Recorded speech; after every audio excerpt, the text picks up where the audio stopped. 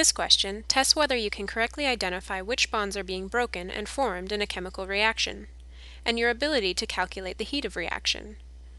Reading the question, we find that we need to use the bond enthalpies given on the information sheet to estimate the change in enthalpy for the reaction of CHBr3 with Cl2 to give CClBr3 and HCl.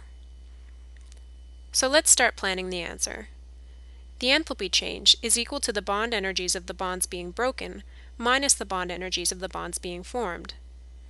To get the bond energies, pull out the datasheet. Inspect the reaction carefully, and you'll see that carbon-hydrogen and chlorine-chlorine bonds are broken. We look these two bond types up in the table and note their energies. A carbon-chlorine and a hydrogen-chlorine bond are formed. And again, we note these values.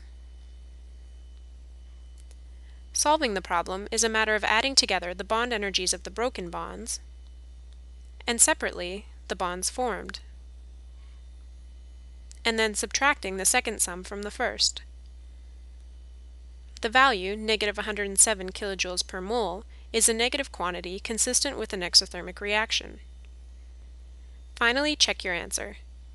Most errors in this sort of question come from simple mistakes like looking up the wrong bond energies or making the wrong subtraction. All fine here, so we're done.